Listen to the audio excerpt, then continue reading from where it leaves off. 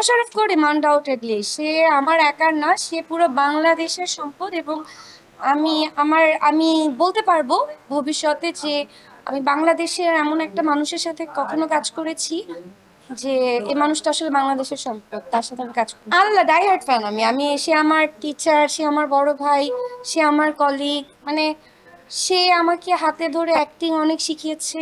আমি তার কৃতিত্ব অনেক আমার ক্যারিয়ার লাইফে এত বছরের। এটা এখনও জানবেন, এত পাগল হয়ে গেছেন কেন? হুম? তিনি বলছিলেন যে ঘুরে ফিরে একই গল্প একই এই সংকট উত্তরণ উপায় কি আসলে কি করেন কেউ বিদেশে থাকে, তার মানে তার ওয়াইফ দেশে থাকা মানে খারাপ বা পরকিয়া করা বা অনেক বউদেরকেও যে সাফারার হতে হয়, আমি আসলে এই চরিত্রটাকে দিয়ে এরকম কিছু বোঝাতে চেয়েছি এবং আমি আশা করি আমি সেটা পেরেছি এবং আপনাদের অনেক অনেক সুন্দর কমেন্টে আমি অনেক অনেক খুশি। আপনারা আমার জন্য থ্যাংক ইউ আমরা আসলে চেষ্টা করি ভালো গল্প দেওয়ার কিন্তু এখন চ্যানেলও এরকম হয়ে গেছে, এরাও একটা প্যাটার্নের বাইরে যেতে চায় না। যেতে চায় না কারণ হচ্ছে তাদেরও তো টাকা। টাকা তো অনেক ইম্পর্টেন্ট সবার কাছে। তো তারা যে টাকাটা আসলে লগ্নি করে সেটা ফেরতও পেতে চায়। এখন কিছু গল্প যদি একটু দেখে যে না, এই গল্পগুলো ভালো। মানে আমরা যা দেখাবো দর্শক আসলে তাই দেখবে। এখন আমরা জানি, আমরা বুঝি, কিন্তু আমরা কেন যেন করতে চাই না। আমরা সুন্দর গল্প পেলে, যেমন আমি কিছুদিন আগে একটা গল্প পেয়েছি, জাহের আলভিয়ার আমি।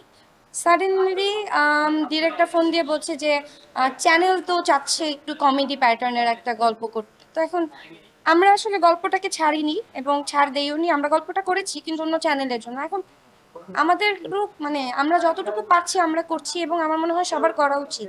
কারণ আমি বিশ্বাস করি একটা নাটক একজন ভালো করতে পারে না। আমি বিশ্বাস করি একটা নাটক ভালো করতে হলে প্রত্যেকটা মানুষকে ওই নাটকে ভালো করতে হয়। সো আমি একা ক্রেডিট নিব কেন? আমার কথা হচ্ছে, আমার যদি চোখে কোনো কিছু লাগে, আমি তখন ওইটা বলি। এর বাইরে আসলে আমি নিজেই জানি না আমি মানুষকে কি জানাব। তো আমি চেষ্টা করি যে প্রত্যেকটা মানুষ যাতে ভালো করে, কারণ একা আসলে কোনো কিছু ভালো করা সম্ভব সো এটাই। অহনা থাকলে আর গল্পটা থাকলে, ওখানে কে সুপারস্টার কে ফ্লপ হিরো কে ইয়া লাগে না। গল্পটা আর অহনা। আশা করি অহনা আর অনেক দিন বেঁচে থাকবে এবং ভালোভাবে ভালো কিছু করে যাবে। আর আমি একটা কথা জানাতে চাই আজকে। আমি আর বেশি দিন কাজও করতে চাই না সো দোয়া করবেন। আমি যতটুকু দিন কাজ করতে চাই, আসলে একটু ভালো কাজ করতে চাই। আমি আসলে বেশি দিন আর কাজও করতে চাই না। সো যে কয়দিন কাজ করতে চাই, আপনারা দোয়া করবেন, আমি যেন একটু ভালো কাজ করতে পারি। আপনাদের যেন ভালো লাগে, এরকম গল্প আমি আপনাদেরকে দেওয়ার চেষ্টা করব। সো যে কয়দিন করি, দোয়া করবেন।